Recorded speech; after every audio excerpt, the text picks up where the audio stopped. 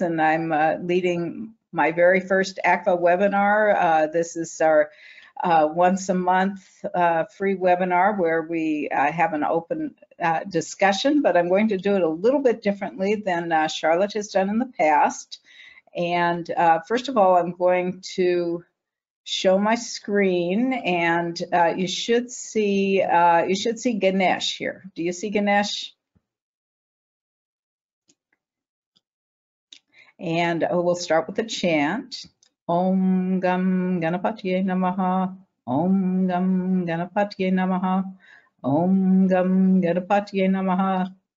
Okay, so now uh, the topic of the day from ACVA, the American College of Vedic Astrology, as I'm presenting a little bit about the moon and how we look at it in a in a chart. And so I'm going to put up uh,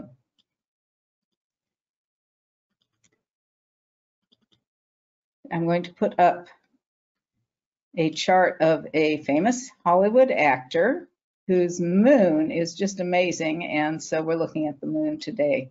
So, um, so please, uh, if uh, uh, Bhagya, please uh, send me a little text if you can see uh, if you can see two charts on my screen.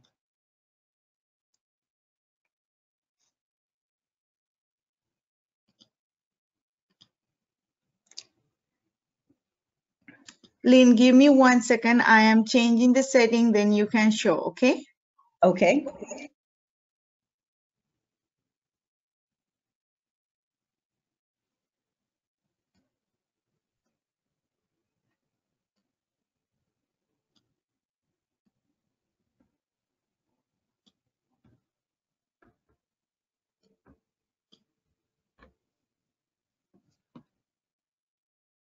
Lynn, you can share now.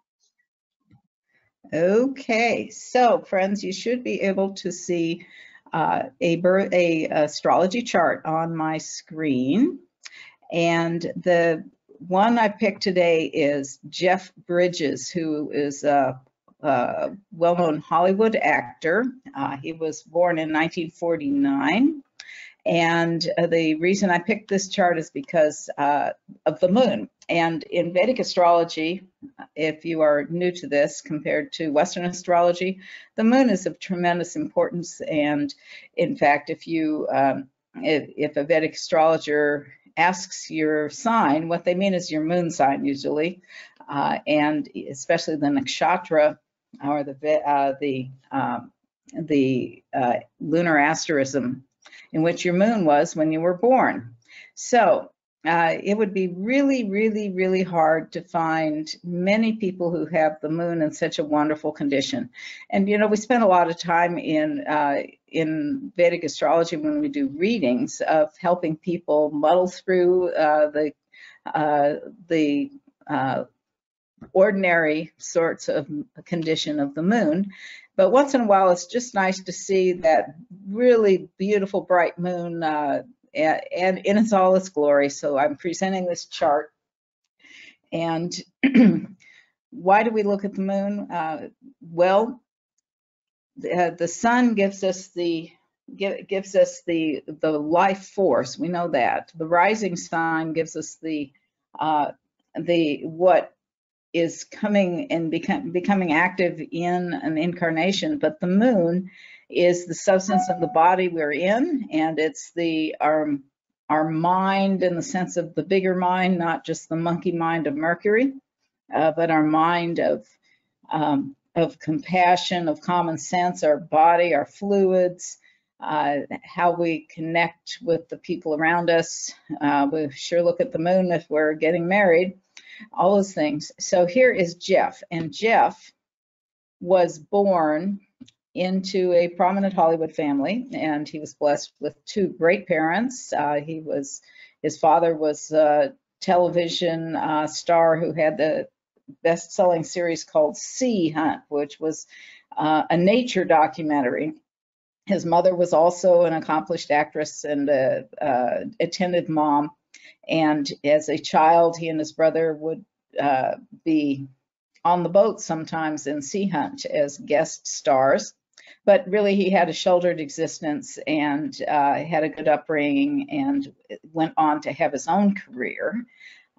And oddly enough, unlike the typical Hollywood star, he he found his love, got married, and has stayed married all these years, raised a family, kept his life pretty private. So here is what an exalted, wonderful moon looks like. And so now if you would mind, look at these two squares, whichever of the two you're comfortable with. Uh, the left one is the North Indian style with the rising sign at the top. Five means Leo. And to the right, you'll see MO, light blue, that's the moon. Two means Taurus, moon in Taurus in the 10th house. Now, if you go to the other South Indian chart, you will again see the rising sign, but here the rising sign is always, you know, the sign, the zodiac signs are always in the same place. So the rising sign on the right, AS, uh, that is Leo, always in that spot. And the moon counting around one, two, three, four, five, six, seven, eight, nine, ten is in the 10th house and that is the place of Taurus. Okay, so it's the same chart, looks different, whichever one you like to look at. Most of us have a preference. So here we have the moon, and number one, the moon is in the 10th house, the house of fame, of prominence, the career. Here's a guy, as I say, he came into a family that was famous for sea hunt. Uh, he is, uh, the moon has these connections with the ocean. It's in Taurus, and Taurus is our, is the exalted sign, the favorite sign of the moon. Uh, there's this famous story uh, of Rohini, uh, who was the favored wife of, of uh, Soma the moon, and in this particular story, the moon had 27 wives, which represent the nakshatras. And the uh, uh, he was supposed to go visit one wife per every night, but he really loved Rohini, the the, uh, favorite. And it's he. This ended up becoming a problem. The other wives were jealous. They went to their father. They, they complained and uh, he was punished and made to waste away. But uh, the mitigation was that he would die and be reborn in every lunar cycle. But it still remains that his very favorite place to be is Rohini in the middle of Taurus. And that is the where there's a the key part of the constellation Orion and the beautiful beautiful star Betelgeuse, which is uh, red, and it's thought of as the red wagon. And of course, Taurus, the zodiac symbol, has to do with uh, the earth, with fertility, with that, you know, the maximum springtime of uh, uh, where where we incarnate, where we, um, you know, do do those things that um, make uh, make things grow, and uh, we we cook, we plant, we cook, we we eat, we procreate, we have have a good time together. Uh, so to have that moon in not just Taurus but Rohini, uh, it's it's a very positive one. Especially uh, now we're going to look at how does it influenced. Well, number one, it's a full moon. You'll notice opposite sun, opposite sign, sun and Scorpio moon in Taurus. Over here we have sun in Scorpio, moon in Taurus. Full moon is the very best way to have your moon. It's the most powerful at that time. Uh, as, as we know, uh, you know, you don't have to be an astrologer to like the full moon. And then in addition, if you'll notice that degree symbol, 1616, okay, that means it is in the middle of the 30 degrees of Taurus And if we divide the sign of 30 degrees into nine parts, they're called Navamsha, which means nine, division of nine, and it's in the uh, middle one of those, which means that if we go into the Navamsha divisional chart, which I'm not going to show, it would be in the same sign in the Navamsha chart. It's what's called Vargottama, another wonderful uh, thing that increases its strength. And because it's exalted in, in uh, Taurus, it's also exalted in the Navamsha, so it ends up being wonderful there. And I will just say that um, that if we were looking at that chart, the moon is in the seventh house of the Navamsha, which uh, it looks as though it uh, gives some blessing to his marriage. So now I'm just going to take a quick look at some of those other things we look at to uh, determine if the moon is, uh, how the moon's going to play out. And one of those is what are the relations with the other planets. Okay, so we will notice that the sign ruler of Taurus, so the moon's lord, is Venus. Venus rules Taurus. Now, the pink one over here, Venus, is the sixth house. It's maybe not the greatest, but it's Capricorn. But look, it's with Jupiter, which is benefic. Uh, so it's helped by that. Then we see Jupiter. Jupiter is in a trine aspect. It's in Earth sign. It makes it's five signs away from Capricorn to Taurus. That's what we call a special aspect. Jupiter really helps here. So even though Jupiter and Venus are in the sixth house, they do wonderful things for the moon. Then we have Mercury, which is the other benefic, and uh, it's again in a uh, opposite the moon in an aspect. Uh, it uh, everything kind of uh, brings good things to the moon. Now, we have a couple other things that present a bit of a more of a problem. Rising sign is Leo, and Saturn is in the rising sign. And Mars, Saturn together in Leo, we have a big body. And uh, thing about Jeff Bridges is he really was a big guy. I mean, if you see him in his movies, The Big beloved Lebowski, if you see him in Starman and many others, you'll see he's, uh, you know, he was a football player in high school. He's big and he, you know, had moderate athletic ability. But we have Saturn making a special aspect to the 10th house. So that's like not all is all just hunky dory. I mean, he had, you know, he, uh, for Jeff, the big personal challenge was to decide whether he really wanted that uh, movie career and he felt like he needed to go out and make a name for himself and not just ride on the uh, family coattails. So he uh, spent quite a bit of time in the um, in in the Coast Guard as a National Guard and uh, worked his way up to uh, to a rank in the Coast Guard. Uh, went to acting school and just dedicated himself to making himself a very good actor. Uh, he was famous for how well he could just take on all sorts of characters. And then we'll notice that Mars, yeah, even though it doesn't make an aspect to to the 10th house moon, it makes an aspect to the fourth house, which of course the fourth house has to do with the moon. And so we have this really nice connection with a lot of, we got five planets in the, what we call the Kendras, the angles. So yes, this is a prominent life.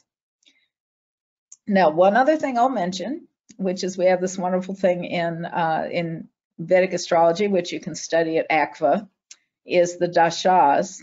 And I'm not going to show that on the uh, screen, but what we get is we get uh, the moon at the start of his life in Rohini, which is ruled by the moon. So his very first dasha, his first period of life was under the moon. And he had you know as i say a really wonderful mother who really devoted herself and uh, provided the right balance his mother and father provided a good balance of uh, of structure and nurturing.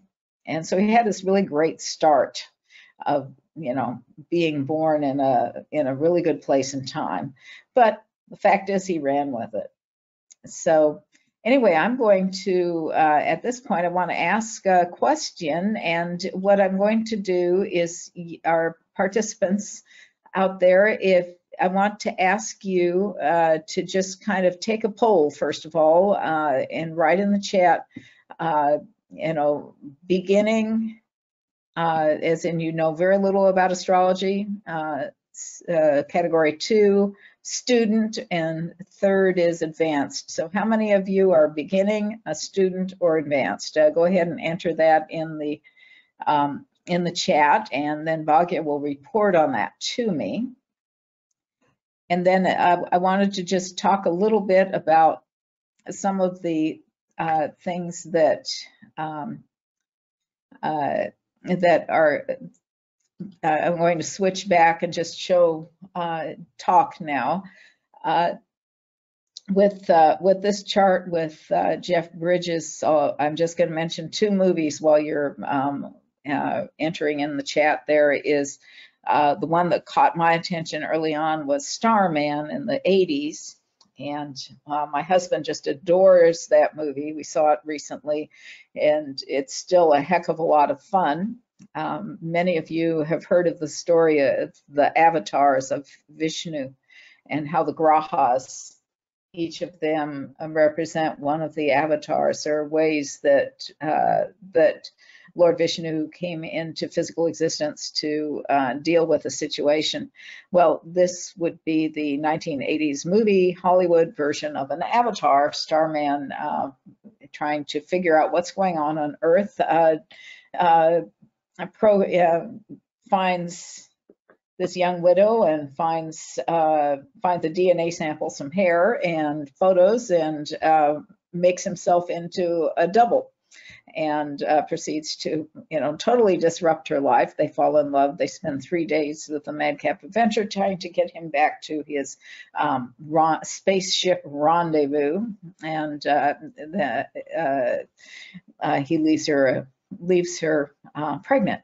So that's Starman. And then we have at the other end of the spectrum, at the near the in the more recent career as a mid uh, late middle age, the Big Lebowski, who where he plays a, a character who's a layabout, um, you know, hippie surfer on the beach who does as little as possible and just you know is is imperturbable who uh, what you know all sorts of crazy situations descend and he, he does not get out of balance. He's he's he's there. He's he's he's like the uh, like the the Malibu Buddha or whatever um and with but nonetheless with lots of humor and uh plenty of uh plenty of slapstick and plenty of Hollywood. So as I say, just a, a real range of characters. He was uh, someone who's played alongside famous actors, Clint Eastwood, all sorts of people enjoy have enjoyed working with him. So, um, Bhagya, do we have um, do we have a response from our um, from our people here? Yes, we do. Um, we have many students. We also have advanced um, experience people, and we have many students here. Yes, we, we everybody respond to it.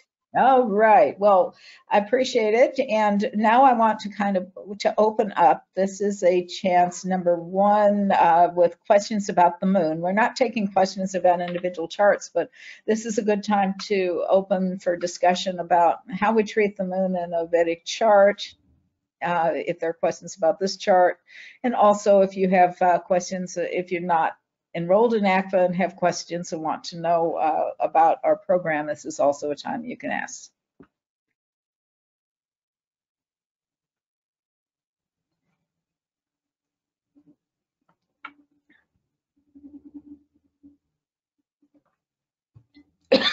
so I'll say a little bit while we're waiting for questions. And um, uh, I recently joined the faculty and the uh, leadership team of ACVA, but I took the ACVA program myself in 2006 to 2009, uh, level one and level two. So um, those, I remember fondly my school years, you might say. I was already a um, experienced Western astrologer, but um, I fell down the rabbit hole and just um, found Vedic astrology astounding. So um, now I'm now it's my turn to give back.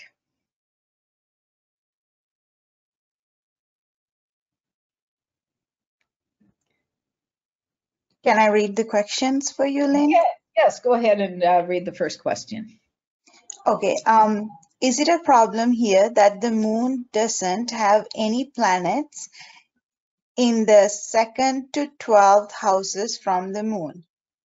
That's an excellent question because, of course, one of the things we learn about in uh, when we study the yogas in uh, in uh, in Vedic astrology is there's a very uh, important yoga called Kama Druma Yoga, in which the moon is all alone.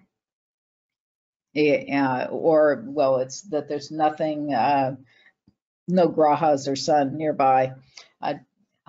Now, that would be a problem except for two things. Number one, that, well, three. Number one, the full moon, it's in a full aspect with the sun. Number two, it's in a full aspect with Mercury. And number three, it's uh, receiving a one-way uh, trine aspect from Jupiter. So in those ways, it's very well connected to the rest of the chart. And so, no, this is not the not the lonely moon. We do see the lonely moon. We do see Kamadruma yoga uh, fairly frequently, and the uh, uh, for instance, one personal chart uh, I can relate to someone in my family who was, has Kamadruma moon uh, with moon with Rahu, and the only aspect is from Mercury, which is with Ketu. Uh, so yes, he was an only child, and his mother had difficulty, um, nearly died after he was born, and chose not to have any more children because she wanted to raise him, and he did well, but you know he has the only he is the only child and there's a different consciousness when you uh, when you have that. Next question.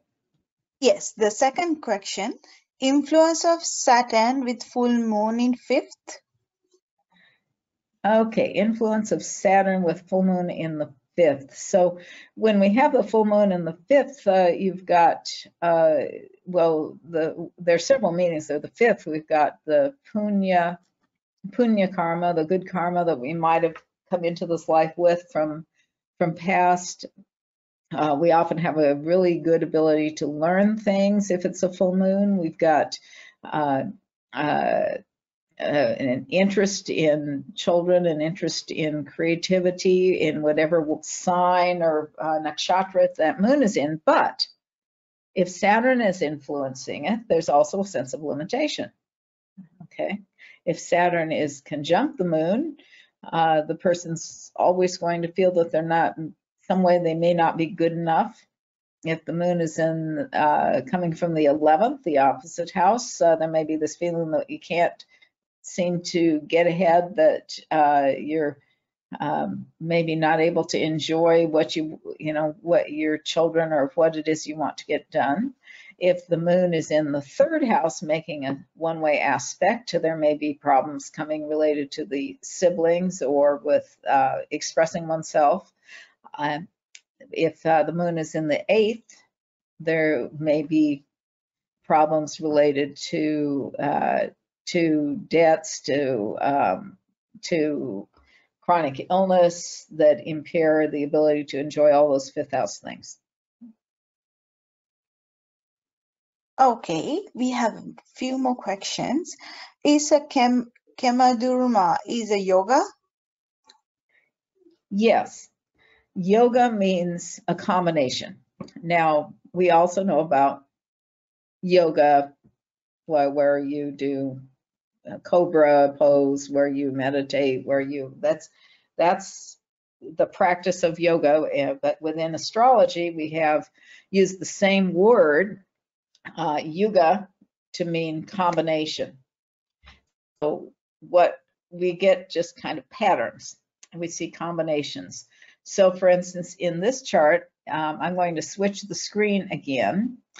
And we see the, um, we see one combination, a very important one. If you look, the sun and Mercury, the uh, on the left-hand side in the North Indian chart and down in the uh, bottom in the right-hand one, they're together and they're in the same sign. That's a pretty common one. It's called Buddha Aditya Yoga. That means Buddha, Mercury combined with the star, the sun, together. And uh, it's pretty common. I mean, it shows up uh, in, in quite a few charts, but when it's there combined with other things, you get what's called uh, a little boost for the mental ability. Uh, all other things being equal, this person will be um, above average intelligence. If it's in a very prominent spot, they may be very bright indeed.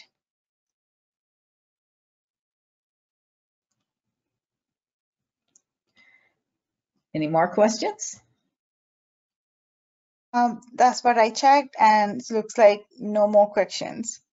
All right, well, I'll read it later on if there's anything. Um, right now we are good to go. okay, so uh, the um, what I'm going to do then is I'm going to put up a different shot here.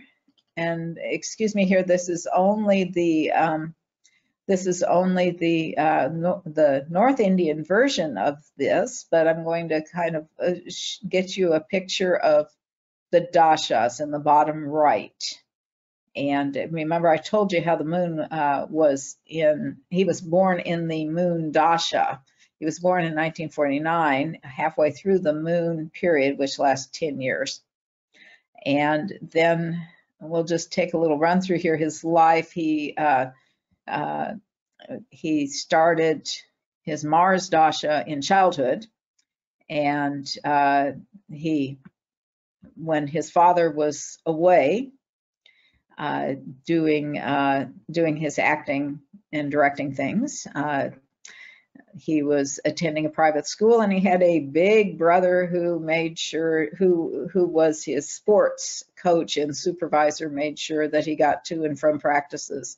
Uh, and uh, he had uh, was able to develop a, some strength there. And you'll notice that his Mars is in the first house in the Lagna. Okay? And then in Leo and Mars is a friend in Leo, and uh, he uh, competitive, uh, just got to enjoy doing those little boy things. And Mars is the ruler of two important houses. It's a good for Leo rising. Mars is a great planet. It's a yoga karaka, uh, meaning it rules two favorable houses: the fourth house, Scorpio, and the tenth house, Aries. So this is uh, this is a you know a happy thing for development. And then we get to the next one, Rahu, 1962 to 1980. And Rahu's more complicated. And at that stage, that was his teenage years and early adult years. Uh, and as I say, he had a pretty uh, conventional upbringing, but then he, instead of going to college, he joined the National Guard. Though, of course, that was the the 60s, um, and one either went to college or went got drafted or enlisted. So he enlisted in the Coast Guard. He um, already knew about boats. Uh, he continued to serve in the Coast Guard for a number of years beyond uh, what he what was strictly necessary, and he used that money to pay for his own acting school. He went to acting school in New York, and then began to work at getting getting roles. When we get to 1980, that's when it was pretty. You know, you'll notice that Jupiter is in the sixth house, but it rules the um, it rules the ninth house. It rules. I mean, it rules Sagittarius, the fifth house, as well as the eighth house. And it was in those years that he he really started making, you know, he really had made a name for himself. He was on the making Starman, which was made on location in Montana and uh, the surrounding high plains, Rockies, and the Southwest. And one of there's a story in Starman where uh, featuring uh, featuring uh, a uh, the sort of uh, the sort of place one stops to get gas and eat out there in the out there in the high plains, and um, that was exactly the setting that he met his future wife. As she was from North Dakota, and she was a waitress in that restaurant. And that was during after a few years, she said she was either getting married or packing up and going home to North Dakota. They got married. They had three kids, and you know, then he went through his Saturn Dasha, Saturn is rising sign and rules sixth and seventh, and now he's in Mercury Dasha. And this is more of an issue. Um, just so you know, he was found to have lymphoma last year. And they, uh, you'll notice that Mercury rules his 11th house as well as the second house. And you'll notice Mercury is therefore Lord of the second. And the second and seventh houses are called the Maraka houses, uh, which sometimes, if everything else comes together, you may end your life when they're active. Uh, but he's apparently responding well to treatment. So that's uh, that's uh, just a little bit more about the dashas, and I want to see if we have any more uh, more questions. Yes, we do. Um, the first question can you say more about the different aspect of mind controlled by Mercury and the moon? Yes. So the uh, let's start by looking at where the the chakras that they're related to and the elements and so forth. So very very important when you look at if you studied yoga, you're aware of the thousand petal lotus chakra that's our above our the our head uh, those those lovely pictures of Lord Shiva with the moon, the crescent moon on his head, and uh, the moon is seen as that channel. It's uh, we have in the body two nadis, the solar and lunar, up and down, and it's one of those two, and it's also related to the left eye uh, in uh, in in yoga and meditation, and the luminary sun and moon are seen as those two sides of consciousness. So the moon is just extremely elemental there. And then we get to Mercury, which is more uh, more in the application end of things.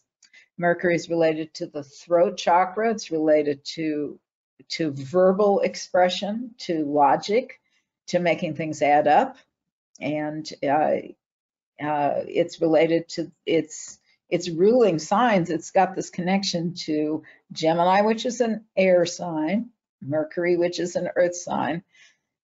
So it's the verbal expression in Gemini and the um, practical detail application uh, in uh, in Virgo.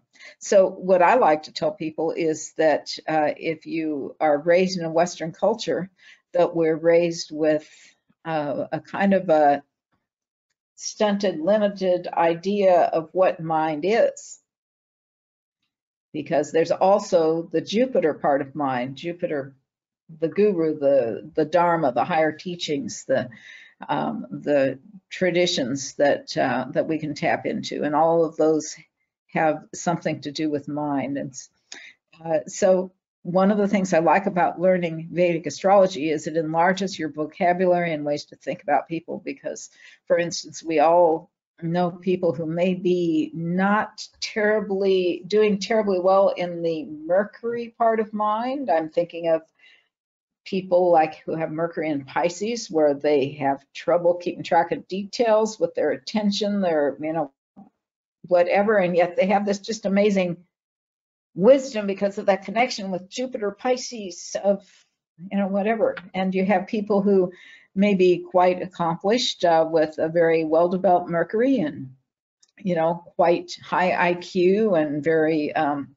very logical very verbal very organized and yet they're on an emotion level they're a mess. And they don't get very far. Uh, we you know I've presented here a person who had just an extremely well developed balanced moon. But once you start looking at charts of people you know, uh, we all know people who have to deal with uh, afflicted moon and how it affects their their thinking. Uh, we we think uh, there's a part of us thinks we are all logical, but in reality we're very um, we're very lunar. We have very very emotional ground under all that. Okay, we have another question. Can you Yeah. expand on moon conjuncting uh, Ketu? Okay, so uh, to begin with, remember what are Rahu and Ketu? They are the spots in the sky that show us where the eclipses will happen. And that changes from year to year. It rotates backwards compared to everything else, the, um, the uh, eclipse cycle. So if both sun and moon are lined up along Rahu Ketu, it's eclipse time. Okay, being born into an eclipse is a whole other issue, but right now I'm just looking at moon Ketu. If you have one half of that, they'll uh, the the emotions, the intuition is going to be the the side that wants to um, let go of things, that wants to uh, leave the leave cares behind them, who wants to expand consciousness, um, will be really um, increased. A very creative uh, person who whose instincts are maybe more toward inspiration, uh, artist, uh, um, uh, uh, person. You know, the person who sees things and uh, sees things other people don't see. Uh, but it's one that uh, is um, things having to do with Ketu and Moksha are a challenge in uh, Western society. Uh, we, um, so this is a person who has got to find a different path on the practical level in life because, um, you know, they probably aren't going to want to just be in a boardroom and be an accountant or, you know, whatever. They've got to have that connection with inspiration, with spirituality. And they'll find it somehow, whether it's um, in a positive way or through addiction or, um, you know, or uh, some sort of loss experience. Okay, the next question. Can you elaborate on the aspect of Saturn to Moon and meaning of difficulty? Okay, so with difficulty, see the the the moon wants to nurture, wants to wants to lubricate, saturate, uh, grow, um, to to uh, to connect. And Saturn, let's let's remember where is Saturn? Saturn is clear out at the end of what we can see from planets, and it is very slow. It takes 29 years to go around the, the sky, and it's called the lame one because it goes so slow. It spends two and a half years in every sign, whereas the moon, two and a half days. Okay, so just do the numbers and you'll see that Saturn is 365 times slower than the moon. That's really slow. And uh, Saturn represents, you know, if, if the moon is, is I feel I can, I, you know, whatever, the Saturn says can't. Saturn says, this is, this is the boundary. This is it. Time marches on. Um, know, can't do everything in this lifetime. Um, and so it can represent loss, but it also, on the positive side, will represent the structure of things.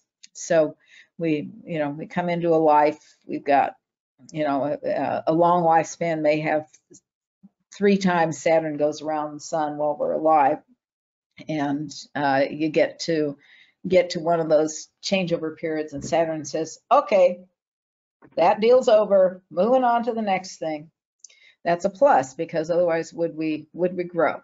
Maybe not. Maybe we would just stay stuck in our patterns. On the downside, Saturn in reality will um, can create, uh, especially if it's really really afflicting the moon, can create a tendency to depression of a feeling of can't is just overwhelming. Uh, so uh, these are these are the people that seem to always seem to be, have more troubles come their way, seem to have to struggle to keep a positive outlook. uh, who um, need to work with their thinking about how can they how can they see things positive. Uh, uh, good thing is if a person who has worked those things out may be uh, able to um, able to accomplish quite a lot because they then have the power of Saturn. Okay, one more question. Could you talk about Moon and Venus in the ninth in Libra? Okay, so um, we've got, uh, uh, first of all, I'm going to treat uh, Moon and Venus. If they're together, that means that the Moon, that, you know, Venus is never more than two signs away from the Sun. Okay, the that's just the way Venus is. So uh, the if the moon is close to the sun, it's not a full moon. It's a crescent moon or a new moon. Okay, so it's not as strong, and it's uh, uh, it's going to the, the dark moon gives us a little bit more of those sort of moodiness, um, you know, unstable emotion type type manifestations of the moon. It, um, as and the moon and Venus uh, will, you know, they they they coexist. They can coexist, but they're they're often not comf comfortable in each other's shadow. Very much like the the uh, mother-in-law and daughter-in-law relationship. That you know they both represent something very important in a family. Uh, but uh, if they are living under the same household, which they are if they're together like that symbolically, um, it is not always easy because uh, they they have different agendas. So ninth house, um, and you said Libra, is that correct? Yes. Okay, so Venus being in Libra is in its own sign, and the uh, moon uh, for would uh, is the would be in the chart would be the fifth house would be Cancer, so it's the ruler of the fifth house and no sixth house, and it's in the ninth house. So it, um, it Venus is definitely the more positive of the two planets. The two of them together, though, uh, will be uh, wanting to express themselves in some way related to Libra, of the arts, of balance, of getting along, and, and uh, then we don't know about what the Sun and Mercury are doing, but we know they won't be far away. If uh, if if they're say in Virgo, then we've got Mercury in Virgo, Venus in Libra.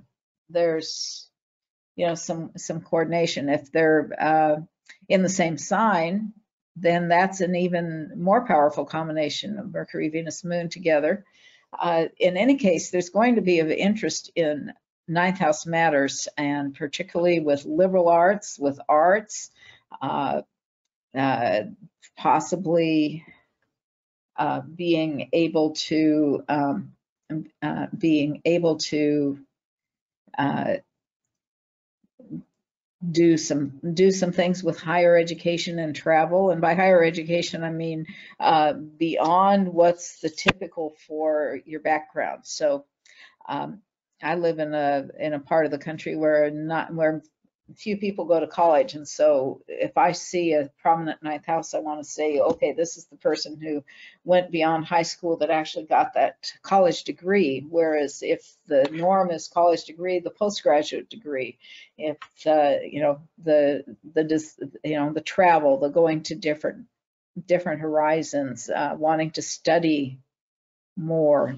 So that combination of moon venus uh, will have quite a sensitivity to wanting to connect with learning with wider horizons, will not be content with just being in the house.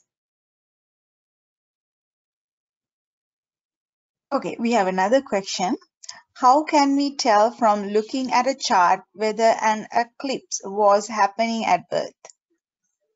Okay, very good question. So let's take, I'm going to switch the screen and show you a chart again. Okay, so, um, so here is Jeff Bridges' chart, which does not have an eclipse, but let's look at Rahu and Ketu, the, the brown and the purple. You noticed how they're opposite, okay? Now, the, uh, when, now suppose that we're gonna move this ahead to when there is an eclipse. Okay, well, we'll go ahead and imagine four months from now, January, February, March, April, uh, when this when the sun is in Pisces, it's with Rahu.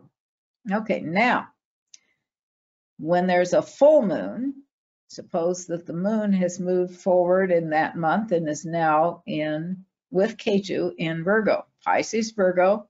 They have to be within about nine degrees for an actual eclipse to happen. And of course, every eclipse is different.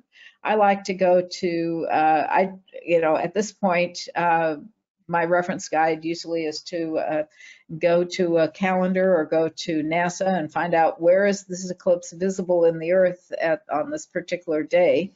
Um, and you know, sometimes some eclipses are really, really close and they go right overhead, and you have something, you know, for a full moon, you have what's called lunar eclipse, where the moon disappears behind the shadow of the sun, and you see that tawny red color you associate with Rahu.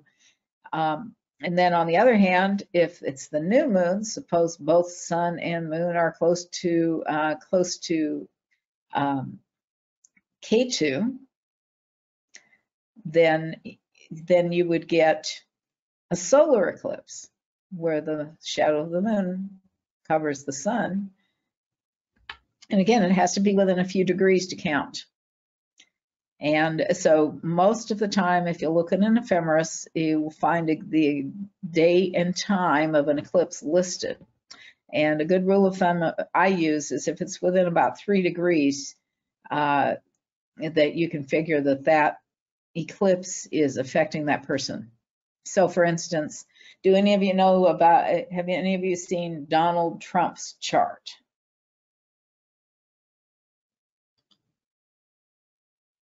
Okay, I have one more question.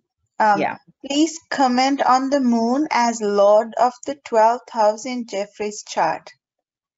Okay, that's a very good question uh, because it is Lord of the 12th, which is the which is a um, not everything is totally perfect with his moon, uh, which is fine because it shouldn't be. Uh, nobody's, you know, this is not Lord Rama after all. You know, this is not the the perfect human. Uh, but as the Lord of the 12th, uh, it what that means is is that Cancer is the ruling sign for the 12th house. And you can really see that in the, uh, if you look at the uh, North Indian chart, the 12th house here, upper right, four means Cancer. Over here, we see that Cancer is always here and the moon would rule Cancer, uh, rule the 12th. So what you get there is you get the, the 12th Lord is in the 10th. And so this is somebody who can take experiences from those 12th house things and express them in his career.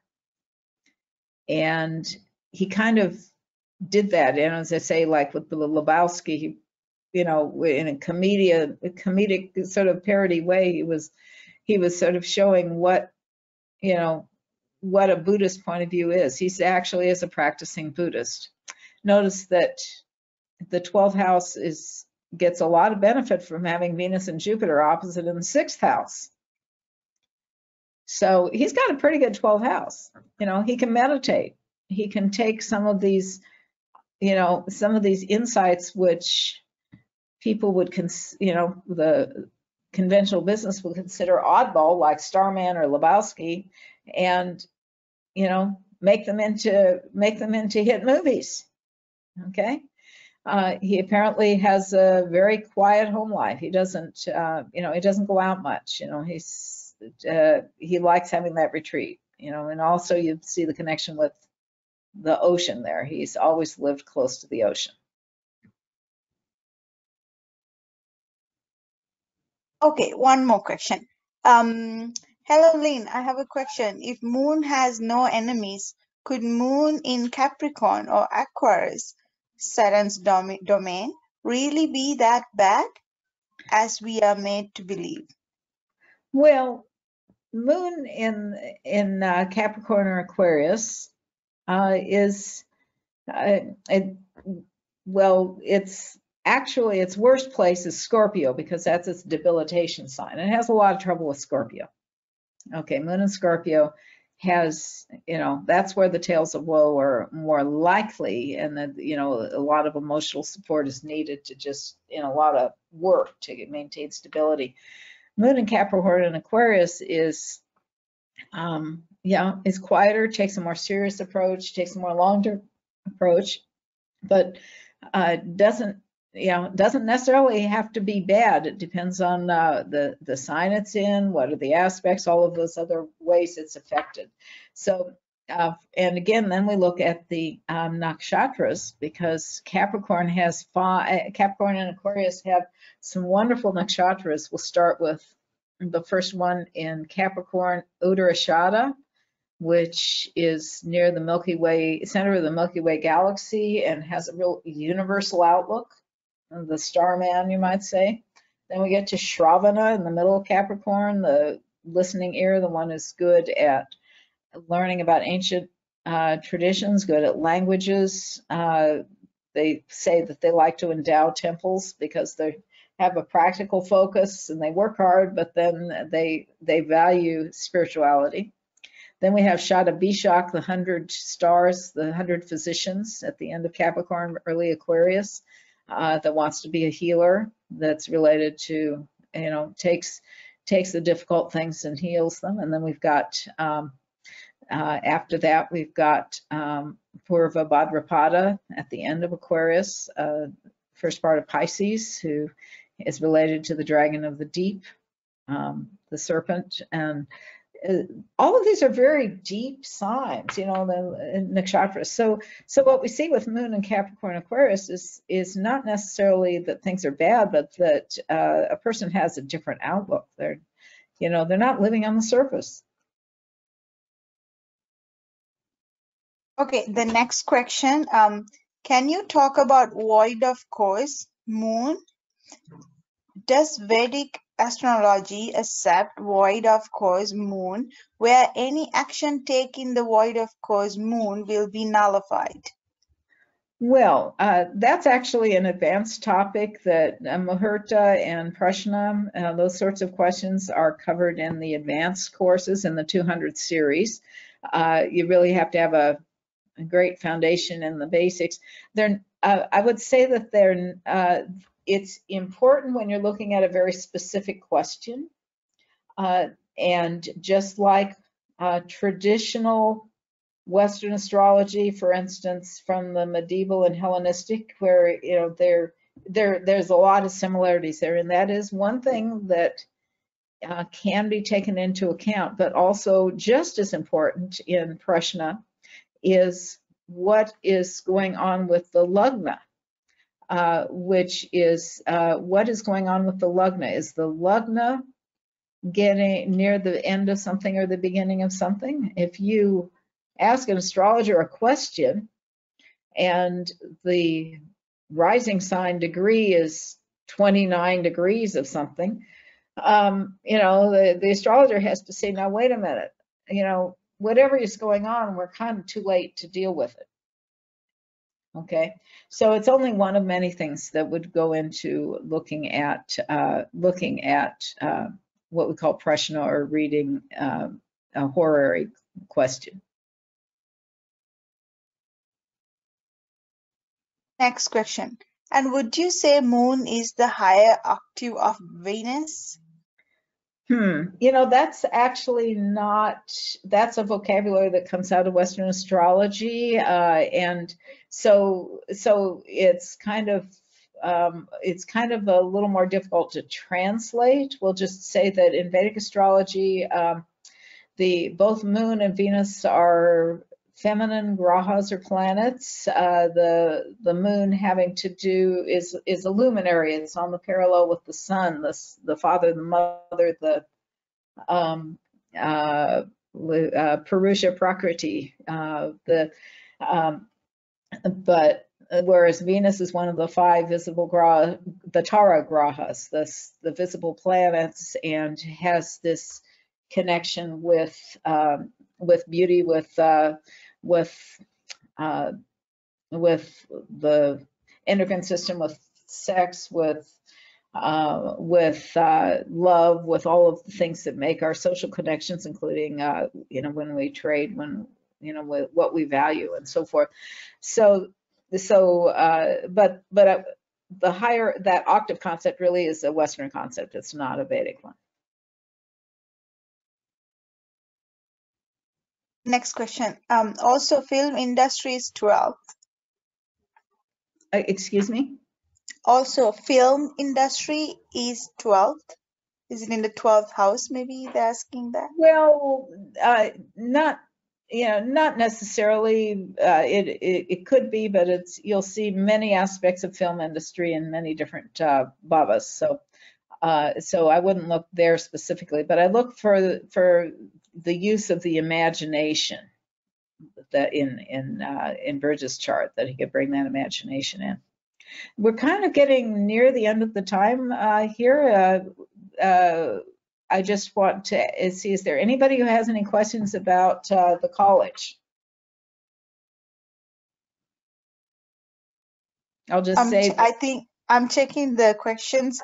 I think that was the last question we got. Oh. Um, I think we are good to go with that. Yeah.